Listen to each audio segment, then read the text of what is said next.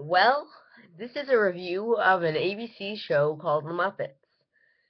And yes, The Muppets may enter my review lineup here. It, this is just a premiere review. If it gets enough views, then...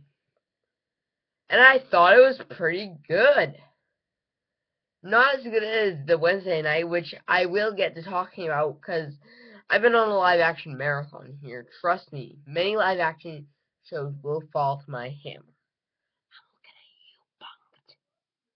Oh yes, and I do prepare to review four episodes of the show. it's terrible. No, but as far as the Muppets go, I love I really like this. It it's a good adult turn on it. I mean, it takes the kid-friendly concept of the Muppets and gives it that adult spin that even teens could cater to.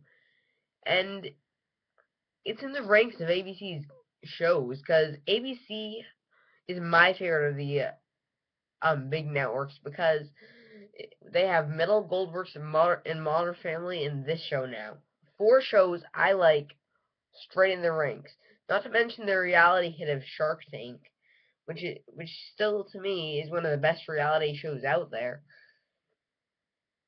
But so let's get to the point with this.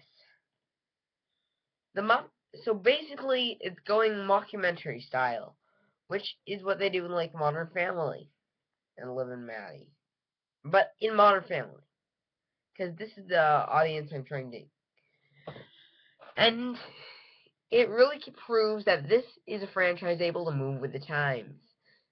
It has a lot of good celebrities, including the um, America's Funniest Home Videos host, Phil Ke- O'Hagan or something, and amongst others. The show also managed to be funny, and the whole gang's there. And they have quite the jokes. Like, some of these jokes aren't meant for kids, but it still has plenty for kids. I loved the, um, the celebrity of the week, or what's her name? I don't, I keep forgetting. But her and Scooter's little golf cart fight, and that was hysterical. So in short, The Muppets is going to be a good show. I can tr trust you me, it will succeed. Now, Bunked, what do you have to lose? I'm coming for you next. Dun dun dun dun dun.